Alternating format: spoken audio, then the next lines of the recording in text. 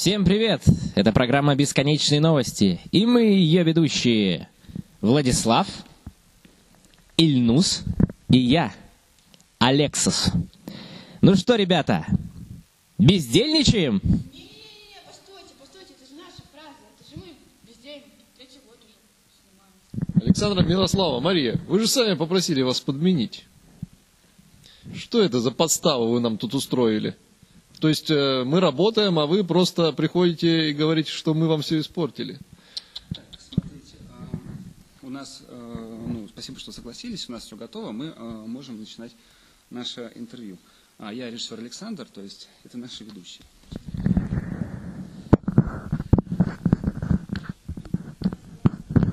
Ну тогда имени меня и бесконечные новости. Бездельничаем! У, Спасибо. Мы начинаем наш выпуск и прямо сейчас смотрим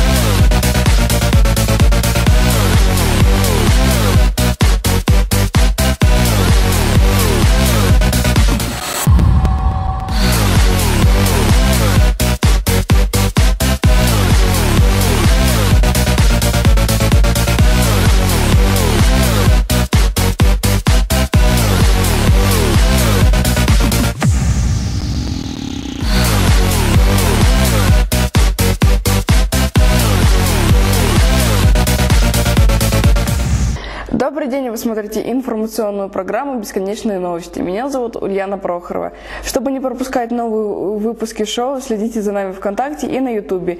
И вот главные новости этого выпуска.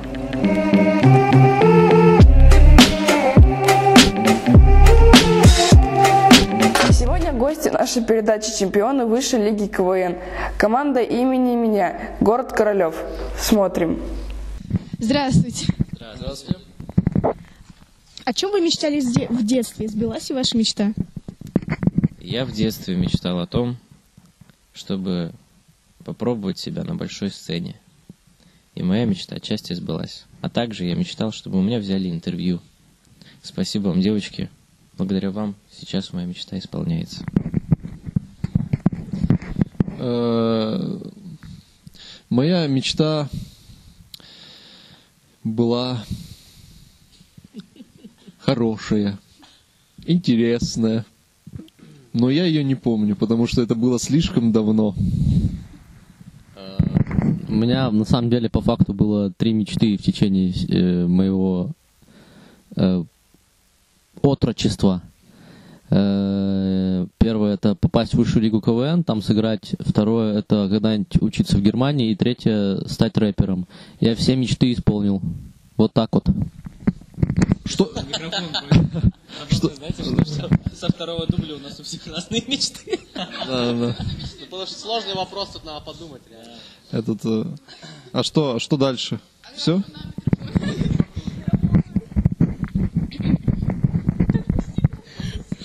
Сложно ли было играть в высшей лиге и отличается ли это от других лиг? Какие у вас ожидания от будущих игр сезона? Ну, у нас этот сезон высшей лиги для нашей команды последний. А, И в этом году у нас основная задача э, выиграть золотые медали. Вот. Идем к этому потихонечку. Вам же серьезно надо отвечать? У вас же очень серьезная программа. Но э, зал высшей лиги, конечно, отличается от всех остальных. Во-первых, он гораздо более взрослый, гораздо более разнообразный. И при- одновременно он и придирчивый, и в чем-то, наоборот, легкий для понимания каких-то... прос- про- ин- Иногда там работают и простые вещи, иногда и...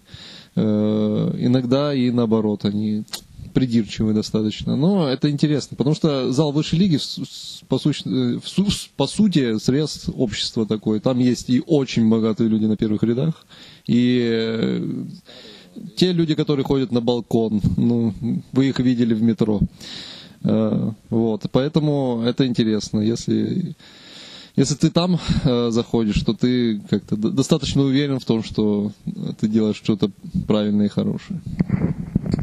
Э, высшей лиге, да, играть э, сложно. Более того, это вообще уникальный опыт, который ты нигде не повторишь, потому, потому что это, так, так сказать, креативный спорт, можно сказать. Там э, команды сражаются со всех городов, э, задействуют много ресурсов, и это реально тяжело выигрывать, быть смешным в высшей лиге.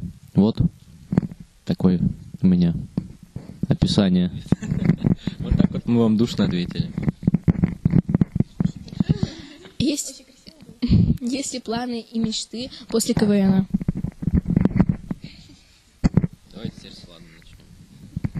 А, э, Накопить на квартиру в Москве. А КВНчики все, когда КВН заканчивается, они впадают в летаргический сон. Э, Вот, до спецпроекта. Да нет, ну да- да- дальнейшее творческое развитие, вот наши дальнейшие планы. Каким оно будет, ну, покажет жизнь.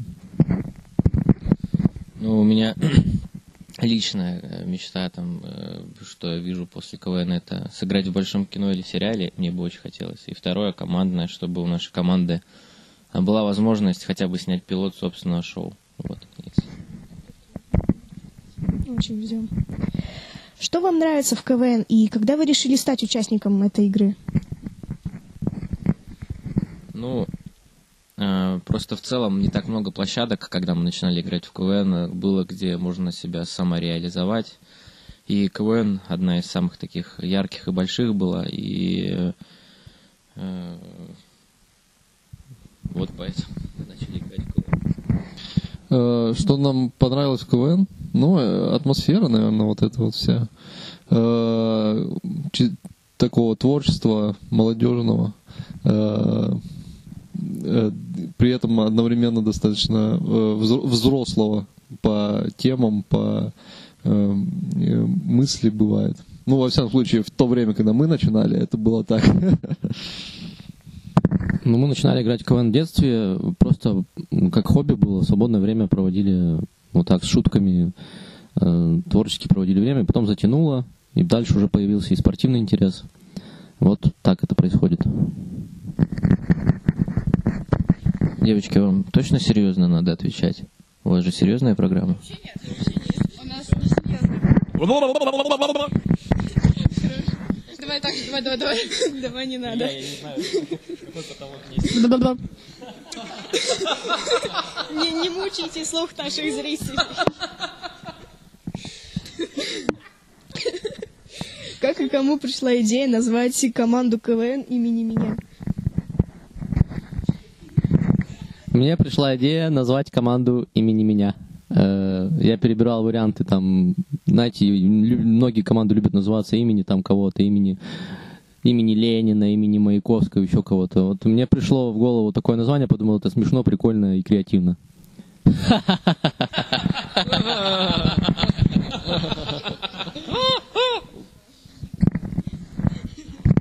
На вопрос имени меня, имени кого, мы постараемся ответить в финале высшей лиги.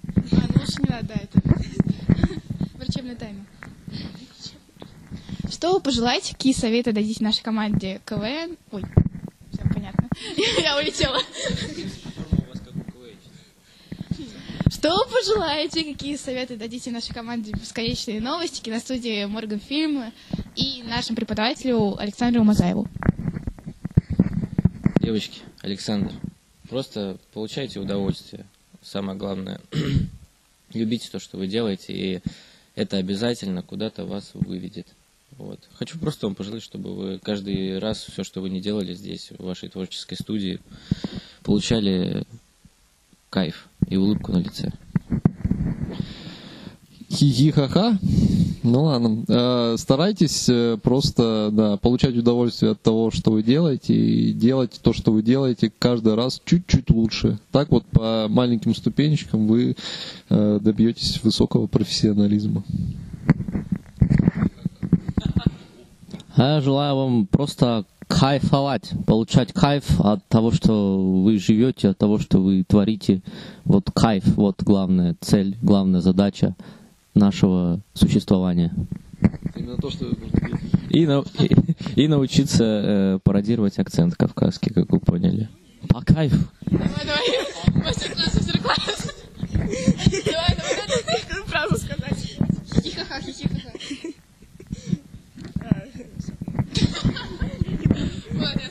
А, Спасибо вам большое. Прям молодцы, спасибо, круто. Хихаха. Давайте все вместе в конце просто. Давайте, раз, два, три.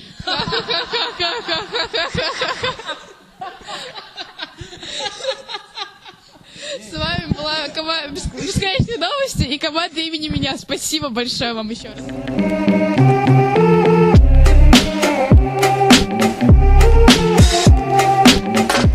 Наши корреспондентки Алина и Даша сняли репортаж про цирк Санкт-Петербург. Давайте посмотрим, как артисты готовятся к выступлению. Цирк Санкт-Петербург пригласил бесконечные новости осветить представление «Собачий дозор», которое состоится в Костино. Добрая история о взаимопомощи, где симпатичные щенки-супергерои помогают не только друг другу, но и людям. Шоу насыщено оригинальными номерами и спецэффектами. Зрителей ждали любимые персонажи, веселые клоуны, бумажная дискотека, шоу мыльных пузырей. Дети, пришедшие в костюмах героев, смогли принять участие в представлении и получить призы. Здравствуйте. Здравствуйте. Расскажите про работу с героями мероприятия. Ну, герои мероприятия а, это замечательные сказочные персонажи. Щенячий патруль. Я так думаю, что все ребята смотрели по телевизору замечательный сериал, и все знают не только, кто такие щенячий патруль, но даже вот я заметила по зрительному залу, когда они приходят к нам в гости, они все знают по именам. Поэтому очень приятно, когда приходят зрители и э, встречают уже сказочных героев, это «Щенячий патруль», знают, что они уже с ними знакомы по телевизионным передачам. Сколько примерно вы тренируете собак, чтобы они научились командам всяким? Это очень длительный процесс, э, потому что когда собачку нужно чему-то научить, я имею в виду в цирке, то обязательно, конечно, ее начинают с ней заниматься со щенячьего возраста. Маленький щеночек, которого приучают знать сначала первое, это команды, сидеть, лежать, а потом уже э, смотря какие трюки нужны. Вот, допустим, если нужны какие-то с- много трюков, то, конечно, и много собак нужно, потому что одна собака ей очень тяжело сразу выучить всю работу цирковую. Это все делается тогда, когда ты уже выстроишь э, тот номер, который ты хочешь показать зрителям цирковой, и вот тогда ты работаешь уже занимаешься с собачками непосредственно готовя этот номер. Вот так происходит Прикольно. тренировка. Сколько лет вы занимаетесь собаками? Да собаками я занимаюсь всю жизнь. Ну, чтобы вас так не пугать, ну, больше 50. Скажи, кем ты была? Ну, я, ну, это, это тогда будет передача очень большая. У меня вот есть собака, ее зовут Белла, она уже со мной 12 лет. Ей исполнилось в ноябре 12, и она очень долго. А какая порода? Не помню, если честно. по- Она у тебя дома живет? Да, А команды она знает? Она воспитанная собачка? да, она знает сидеть. Ну, вот видишь, ты молодец.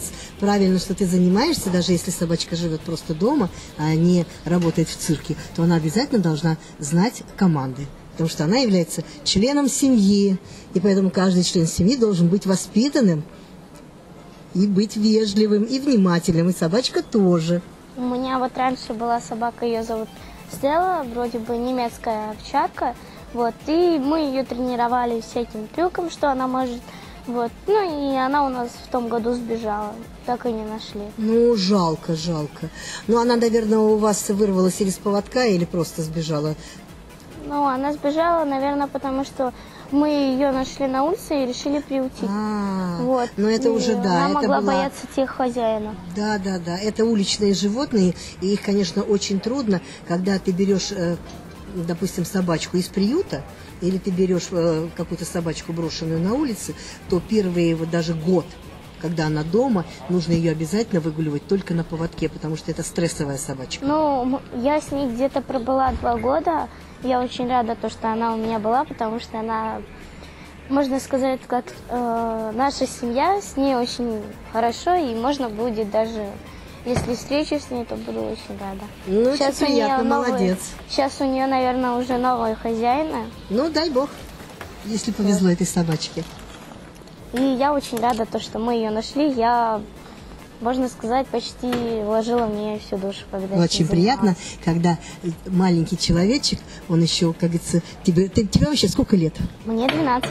Ну вот, ты знаешь, сколько любви, ты говоришь даже о животных с такой любовью, это очень приятно. Я всех люблю животных. Молодец. неважно какие. Вот все должны на тебя равняться. Спасибо вам за такое интересное интервью. Пожалуйста, всегда буду рада с вами еще пообщаться. Всего вам доброго, успехов в школе. Спасибо. Здравствуйте, расскажите про работу с героями мероприятия. С героями, в смысле с участниками, с нашими, да? Я хочу сказать, что вам очень повезло. В нашей команде есть такие артисты, как Марина Маяцкая, вы у нее брали уже интервью, и Николай Панукалин. Это вообще звезды советского цирка, они занесены в энциклопедию. Это величайшие, величайшие артисты, и вам повезло, что сегодня они участ- участвуют в спектакле. Также у нас есть другие артисты, как а, Кругловы, Зухра и Александр. Они дрессировщики, но раньше они работали перши, великолепные артисты, э, очень хорошие дрессировщики, у них замечательные питомцы. Вот. И наша семья, шоу группа «Мозаика». Мы работаем с семьей, муж, сын, я. И у нас тоже есть свои номера, которые вы увидите в процессе нашего выступления. Надеюсь, что наша программа вам понравится. У вас есть собака? Сам... У вас есть сама именно собака ваша? Да, у меня сейчас э, овчарка немецкая, Урал. И он много знает и умеет трюков. Также мы занимаемся и защитой, и выборкой. Ну, в общем, у нас большая программа, и я с ним с удовольствием занимаюсь. И у нас есть успехи. И также у меня есть кошки, которые тоже участвовали в программе, но сейчас они отдыхают, сейчас они не участвуют. А, сколько лет вы занимаетесь такой профессией? Очень давно. Даже не хочется говорить, потому что давно. Очень? Очень. Ну, я сначала была профессиональной танцовщицей, я работала в военных ансамблях, потом работала солисткой а, мусконцерта. Вот. А потом пришло время, когда вот со всей этой перестройкой мы создали номера с моим мужем, сыном, и уже работаем как шоу-группа «Мозаика», такой в эстрадно-цирковом плане. Спасибо вам за такое, за такое интересное интервью. И вам спасибо. Я желаю вам здоровья и успехов во всех ваших начинаниях. Всего доброго, до новых встреч. Спасибо. Мероприятие прошло отлично. Алина Кожухова, Дарья Белякова, Александр Мазаев для шоу «Бесконечные новости».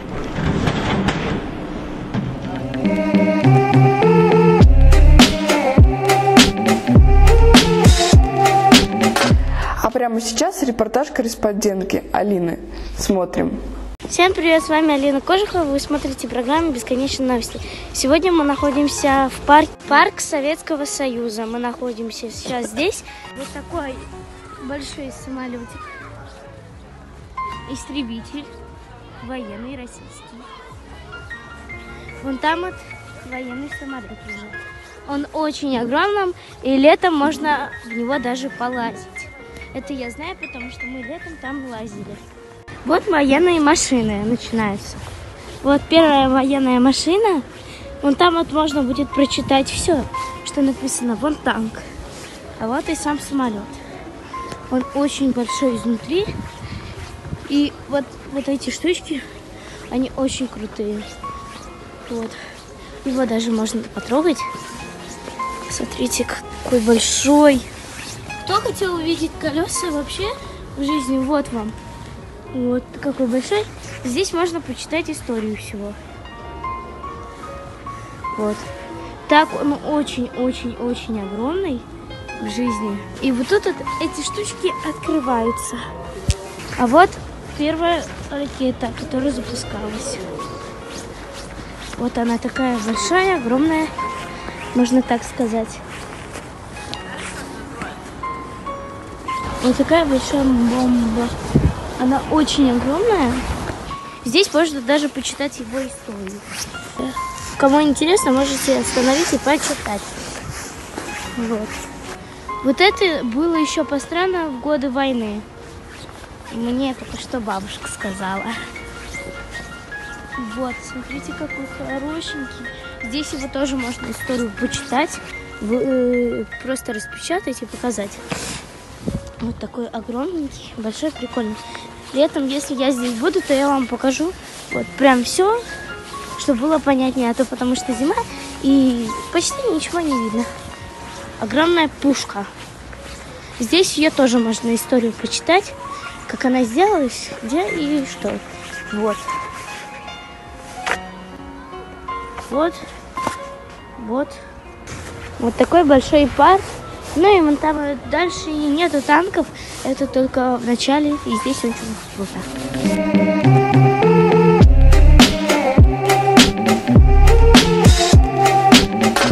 Давно у нас не было с вами минутки спорта. Наши корреспондентки Ксюша и Яна подготовили для вас такой видеоклип.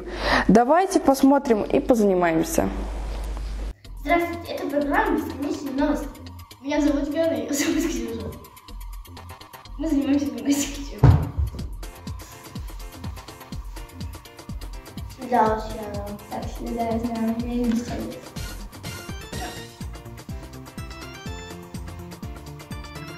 То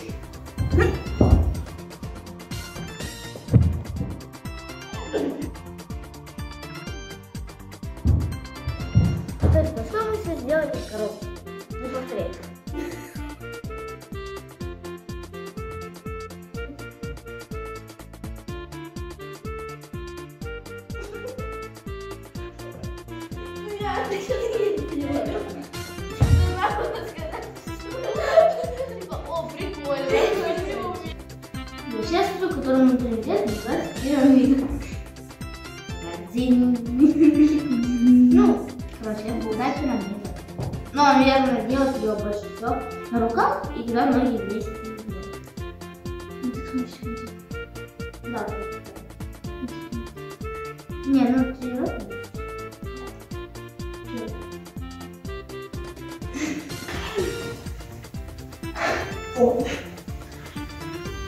Этот трюк называется ширма. Блин, Ксюша, тебе говорила, Ну, как получилось, Яна. Ну, а с вами было бесконечно рост. Всем пока.